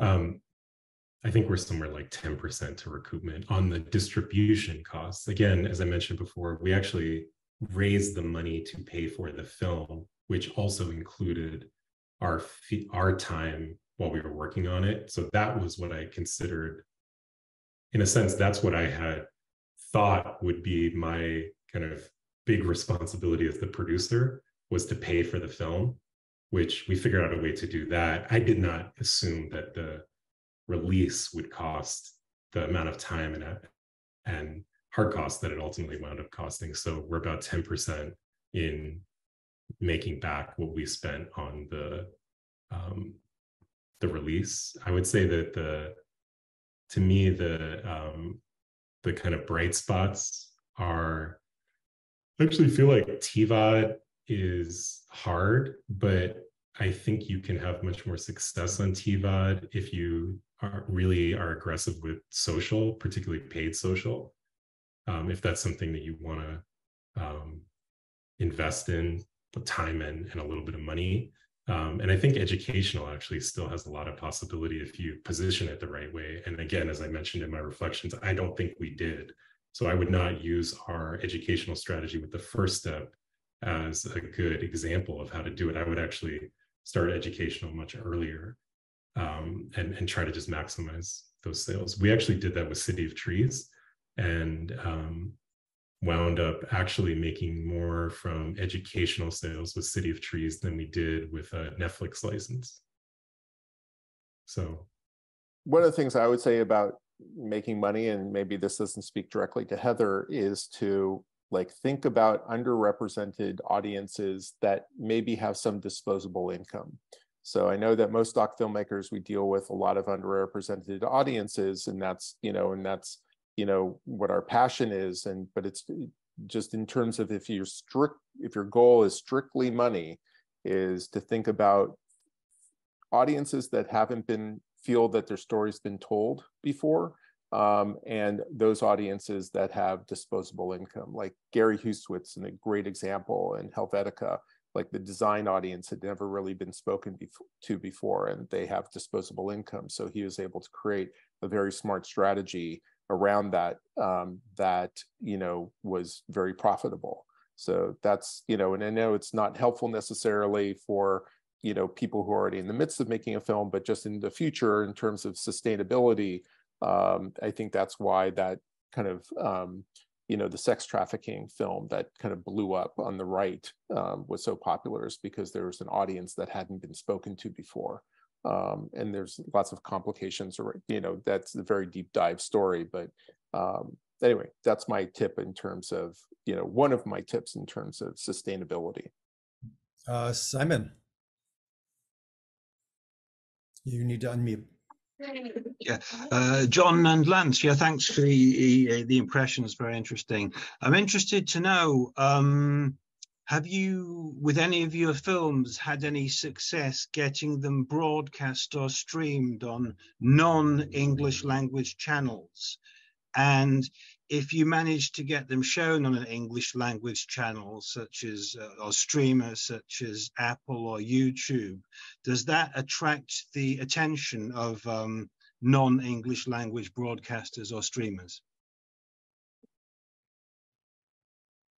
Um, Lance, you want to go ahead and talk about the first step, and then I'll Um, talk we about. we just historically with our films, particularly our two features, City of Trees and First Step, we've actually unfortunately had really um, poor success outside the U.S. Um, we've never had an international sale or um, uh, broadcast outside of Canada for for our work. Um, we've actually consistently heard from people in the international sales market that um, our films would not translate to international markets and that they were too US specific. Um, that has not been the the response that we've heard from actual audiences or festivals, but when we've gotten to the sales um, conversation, that's usually what they've um, told us. So we haven't, we haven't. Um, I don't have much, unfortunately, much experience to share. Yeah, um, I can just speak to that. It just it depends on whether your film is appropriate for you know international audiences and it's much harder because there's so much content now created all around the world world there's less of an interest in us based content but like we worked with a film called uh, called Nasrin about the Iranian human rights activist Nasrin Sotoudeh and one of the first things we did is brought on a foreign sales outfit and we got it um, telecast into Iran itself BBC Persia and like five six other stations around the world um, whether AVOD, uh, whether TVOD in the US helps to broadcast, I wouldn't necessarily, that wouldn't be something that I would see necessarily that would help. I would say if you blow up on TVOD, that can really, that can sometimes help second window SVOD sales. Um, but not necessarily if that, it depends on, it's very specific on a case by case basis, whether that's going to translate to foreign. Um, Irina, we'll get back to you, um, but you've already asked the question, so I want to get to the others first. And if we have time, we'll get back to you. Uh, Julie, you're up. Hi, thank you so much for being here. Um, I have a question. So I have a documentary that's done, and um, you know I've applied to Sundance. I have a distribution run with um, the Legion of Honors here in San Francisco but not till 2024. And I definitely would like to do some last fundraising um, before that premiere. What I'm wondering is what platform would you suggest if I was going to? I have about 40,000 followers on Facebook and about 10,000 on Instagram. And um, I'd like to utilize those and do a screening, a private screening for fundraising, what platform would you suggest that I use that's pretty secure when it comes to being able to, you know, give a password after someone has paid a certain amount of money um, and do this fundraiser so that it's secure? What platform oh. would you suggest? Well, I was, was going to say for that kind of thing with that many followers, um, um, show and tell is pretty well set up for that, but it's not secure. It uses a Vimeo link. So um, if you want it secure, I would recommend it, recommend Eventive.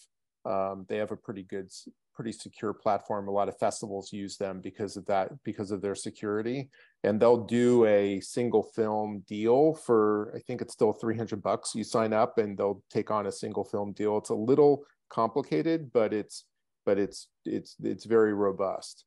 So, and then I would create a kind of unique way of connecting. You can create your own pathway to doing these kinds of things. And so, if you have that for delivery, it's creating how you engage um, with that audience. You can do in a variety of what, different ways on your own. So, thank you. I appreciate that. Yeah. Okay, uh, Jody. Hi there. Uh, question one is kind of prompted by the conversation about the sound of freedom, the feature. Uh, any thoughts on when you have a doc that's sort of been out there is no longer it's out of distribution? I did one on anti-trafficking. I'd love to see is there a way to get it back in rotation, sort of piggyback off something that's in the conversation in the zeitgeist um, and get it back in there. Second quick one is any thoughts or experience on kind of grabbing a film back from a massive distributor? Um, I know Taylor Swift can do it, but you've got somebody and they've got it and it's just sitting there after a while. Is there any way of getting it back when there's all these other new ways to kind of self-distribute after it's had a run and it's still, well, I would, ever, we're talking about yeah, evergreen films. Hmm. Yeah, yeah. I would look at your agreement and see what out clauses you have and see, you know, I don't know what year you are in the agreement. I don't know the distributor. You could just ask you know, sometimes you can ask, hey, I want to pursue a different path. How can we discuss blah, blah, blah. Um, if they're in breach, which there are some distributors who are in breach these days, like if they, I would look at, yes, uh, yeah, well, other like Passion River went into huge breach. There's another one that I've heard about recently, which is having trouble. Um, So if they're in breach, then you can just say you're in breach and we're pulling the film. So it just depends on, um, I would look at what clauses, like what the accounting, uh, the first thing I'd look at the accounting clauses and if they violated those, then they're in breach and then you can pull. But some, it depends on the distributor. Some will say, hey, we're not really doing anything with it. If you want to take it, here it is. You know, you can have it back. Depends on how, you know, good those distributors are. And again, case by case. Um, and then uh, getting on the on the second, you know, uh, I don't know if you want to really on the tailwind of Sound of Freedom, as people have mentioned already, that you know it's already kind of like the the sex trafficking world is pretty against that film and all the people that are around that film. But um, you could probably target. I would probably your easiest way is Facebook ad targeting through Facebook Business Manager. Um, you could even probably, Sound of Freedom is probably a targetable audience these days. Um, but then you get into weird stuff is like, okay, are you going to target QAnon as an audience? Because they certainly, and I, you get into territory that you don't even want to deal with. But there are ways to target people through Facebook Business, you know, better audiences through Facebook Business Manager. And unfortunately, I do recommend this. I mean, Facebook is a troubling institution, but they do have um, provide tools which you know, are still pretty decent. Some people would argue with how well those tools work, but you know, at least they're accessible and rel still relatively low cost. Okay, um, we have time for David, then Irina, and then I will wrap it up with, I have two final questions. Uh, David. sorry, my camera's not working for some reason today. Uh, I've got a meeting with a, uh, I would call it an impact producing company mm-hmm. uh, Tuesday. And, and were there any kind of questions I should be really focused on thinking about with them when I talk to them? And also, Jon, are, are, is that what you would consider yourself as an in- impact producer? Um, I consider myself more of a producer of marketing and distribution. Um, and even though I don't normally take that credit, I sometimes ask for that credit depending on how involved I get. Um, I usually bring on an impact producer. I've worked as an impact producer before, but generally um, I usually bring on an impact producer. In terms of what questions you should ask, um, also let Lance, I would just a what their passion for the film is what their interest what their ideas for reaching out to organizations who they think the audiences are who they think the strong players within those audiences are um, you know how they you know you know they might be coy about saying what their plan is you know until you hire them but you know as much as you can kind of think about like what you know what how they feel you know you should um, proceed, then you you should come prepared with knowing what your what your theory of change is. You know, what are you what is your thoughts in terms of what kind of change within changing the world, what kind of change, and talk to them and see if they feel like that's realistic and ask them what they feel is realistic. Those would be some of the questions I would I would ask. Lance, what would you ask? You have pretty intense involvement in this. I would. I mean, I think you you you covered it. I think hearing how they talk about the film to me is really critical because without just kind of uh, regurgitating, in a sense, whatever you may have told them, but I would want to hear in their own words how they describe the film and what it meant to them, because in a sense, they're going to be an ambassador of you as the filmmaker and others who are part of the film. And I would just want to feel that they've internalized the film in a way that feels right to you. Um, and I would also just want to make sure that their goals are aligned with yours. I think, you know, going back to some principles that we talked about earlier. Um, a, a, number of people asked about the slides and how to get it. Um, I, I, first want to say, uh, Jon's put his email address in the chat, and maybe you could do it again, Jon, but um, he'll be happy to send you a link to the slides if you email him. Uh, we will yeah. also. I'll put probably put you on my email list if you do that. Yes, it comes at a cost. Um, and in we'll fact, give me a little time because what we'll do is we'll make it an autoresponder for give us a day and we'll make it the autoresponder if you signed up for our email list. Okay. So that that's yeah. and then we will also put it up on the D word, and uh, that's once Jon has the link, we'll put it up on our um, probably on our face-to-face topic, which is where we put notes about our face-to-faces. Uh, okay, Irina, you're the last uh, guest who asked okay. a question. Thank you so much. Really appreciate the second opportunity. So going back to something that you mentioned before, uh, you were talking about screeners, uh, the actual screenings, and saying that you definitely pass around at least three clipboards. I wanted to bring you back for that momentarily and ask that plus possibly best practices for screening like what's the ultimate thing that i want to get out of the audience and the panel discussion um, well e for distribute like email addresses but then i would also see if you can get someone in who to have at least an iphone and to be talking asking people's reactions to the film as they exit the theater so that then you can cut that into like a 30 second clip um, and you can also extract the text of that and put that on your website and just get their names, you know, ask their permission and just get a quote. And that's, I think, very helpful. Um, and um, and then also try to have a, if you can have a slide on after the presentation, you create a slide, give it to the theater in advance that has your website on there, how they can sign up for the email list. You can do the QR code thing there as well for those people that will do that and just has some so that people all during the Q&A can see information about the basic information about the film and how to how to get engaged. So those would be the key things because yeah. Um, okay, so my final questions to you guys. Uh, this is more for Jon, I think. Um, if you were approached by a filmmaker who's not making a change the world documentary, maybe not even making a make money documentary, but is motivate, you know, is doing a very personal uh, character driven story that is mm-hmm. not about social issues. So they may not have this kind of these kind like of many of the films that you make, Doug. Perhaps, or many in the group here. Um, I'm kidding you. Uh, well, you know, it, uh, it's that's true, but um. You know, who may not have. Which are some of my favorite films, to be honest. I think those yes, are some of the most beautiful, wonderful films. or those yes, films? Mine too, but they may not have come with this package of impact partners um, may not even have you know a, a, a, niche audience other than it relates to everyone who has uh, two eyeballs and you know a, a heart um, what kind of help you know can you give them when you don't have that um, and also let's just say they're on a limited budget as well and they're halfway through what's kind of the best advice you can give for filmmakers in that uh, boat?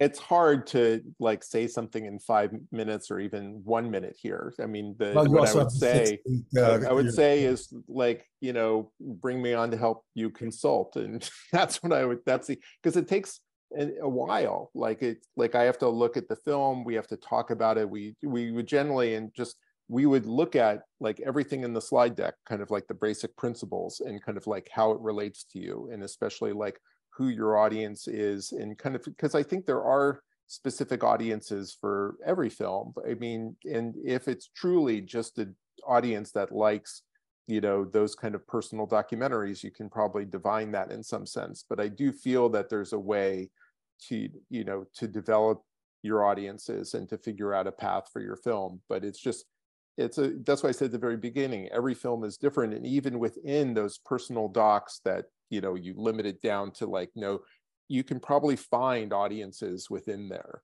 Um, and, and then it's just a matter of like, you know, going back to what you want to try to accomplish with the film, you mm. know. So Lance, you have your hand up. You have a question?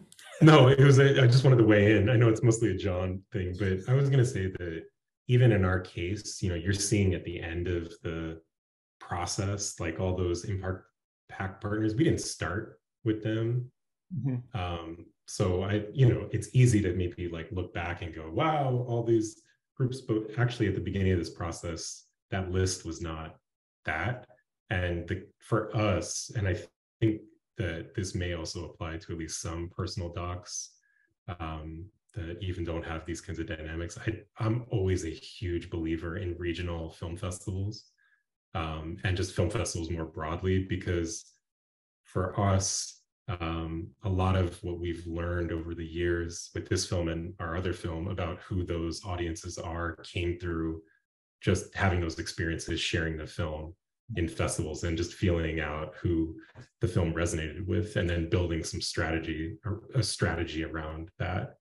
So and i would even say even before that you can even do you'll learn and works in progress screenings yes, too we've done just, a lot yes. of yeah i'd go back to also to your you know a, a key point that you made earlier which was like one of the best decisions you made was to you know not do an academy campaign as as a member of the academy, I've got to tell you, you you know, it's heartbreaking to see the number of very, you know, low budget docs that are trying to compete with, you know, documentaries backed by Netflix, HBO, and the like, Apple, who are pouring money into these things and having, you know, celebrity driven screenings and um, uh, and deal, you know, and influencer screenings, and it's just you know, it's much, money much better used for what you were you were doing.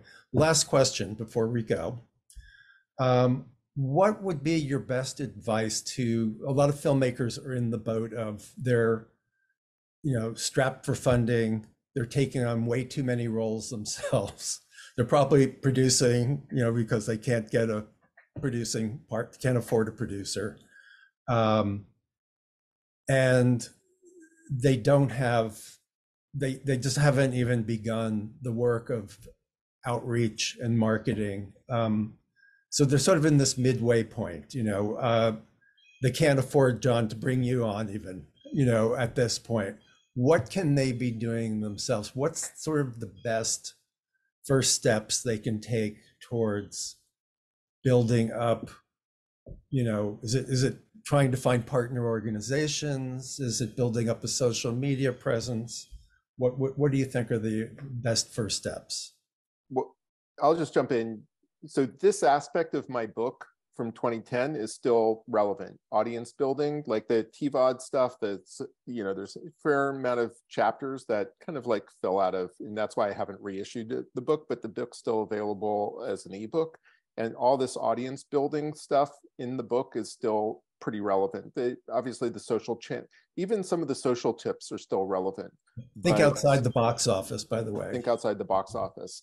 So, um, and um, yeah, I mean, if you really have no money, that's kind of what the book was written for. Like when I when I first wrote those articles for Filmmaker, people would come up to me and say, "Oh, can you consult?" and you know, okay. And at that point, I was like, okay, 75 bucks. Oh, how about 25 bucks? And I literally wrote the book for that guy who had 25 bucks and I sold it for 19 bucks. So, or 1995 at the time. So that's, I would say that's a first start. Plus there's plenty of information around, but you know, I would just look at different avenues of audience development and go after each one at this point.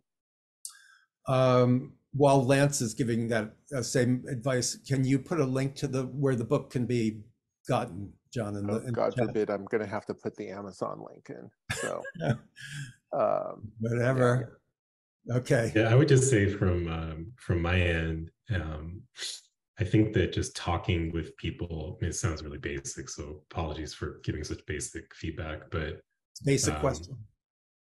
Talking to friends and people you trust and sharing whatever you've got at that point and not being too precious about what you have or haven't done, but just sharing, you know, if it's a demo, if it's rough scenes, if it's a treatment, a deck, a proposal, whatever it is, just being able, being feeling comfortable sharing and then feeling comfortable talking about it with people and then getting feedback and being in some sort of dialogue with people who you trust and trying to just expand that over time. I think that um, you start to learn more about why you're actually doing whatever it is that you're doing if you weren't already clear about it in the first place, which for me is often the case. Um, and then over time, I think you can start to get clear, clearer about what's important to you to do, and also more importantly, what's not important to do. And I think once you can also actually start to clear the brush of all the things you know we mentioned awards but there's plenty of others maybe film festivals aren't important you know whatever it might be you can start to actually clear the brush of things that could be distractions and then just really zero in on what's most important to you. And you get to define that as a filmmaker that's not for anyone else to define. So i feel like you learn a lot of that through those conversations. Uh, jon just putting the link to it but but um, joseph made a great uh, point of uh, trying to get the jon's book through the greatest bookstore in the universe uh, powell's bookstore in portland. mm. Um, so highly recommend that link oh uh, good Great. And highly, yeah. highly, highly recommend the book. I um, just realized it's not the ebook is not on Amazon anymore. I have to talk to my distributor about that. It's like maybe I've been ragging on Amazon too much lately, and they're starting to drop me from there. You know, that's like that was actually surprising. Um, I used to sell it from my website, and maybe I'll start selling it from my website again. Um, another book I would read about, like, so my other high mm-hmm. uh, choke point capitalism will give you a very good understanding of why we got to where we are and also with some solutions. I'm recommending it to everyone. It's not a ton about film, it's mostly music and, and books.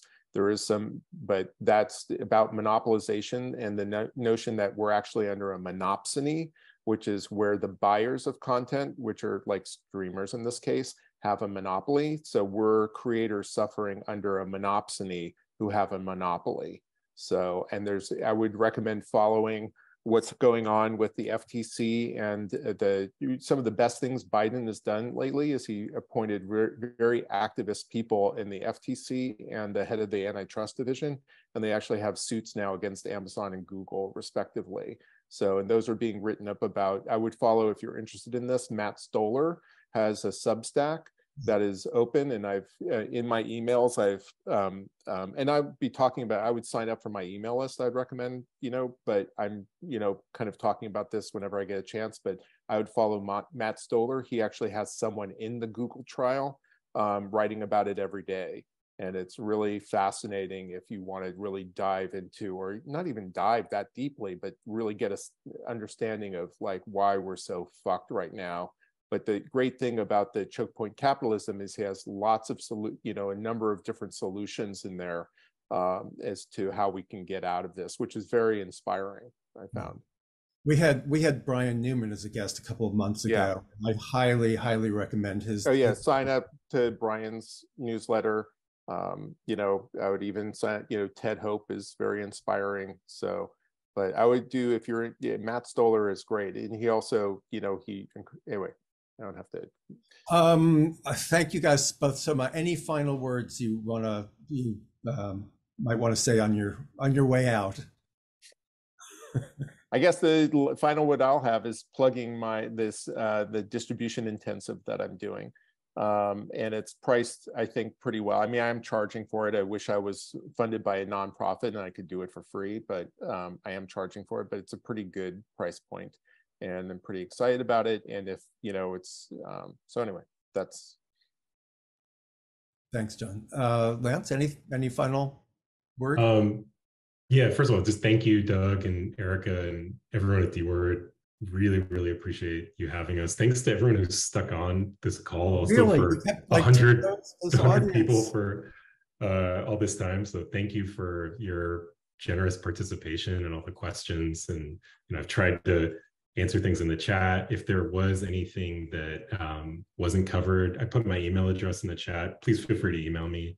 Um, happy to to share. The only thing I would just add as a final thought is like um, just the extent to which you can um, people can help each other na just navigate all these things. I love what Jon is doing with this cohort in the distribution intensive hope people can sign up for it. And even beyond that just more transparent sharing amongst filmmakers and between filmmakers and the distributors or industry people who will share is excellent. Just any type of transparency and sharing um, is is only for the better in my opinion. So when you feel faced with an opportunity to be transparent or push someone for transparency please um, try to step into that space because i think it helps us all.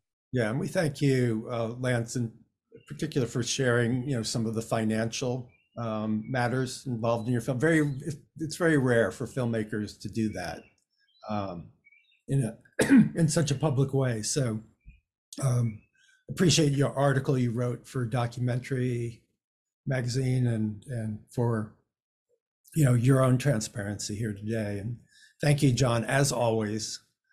Um, and um, yeah, I hope you'll get a flock of people coming to your course and reading your book and Lance seeing the first step in your in all your work.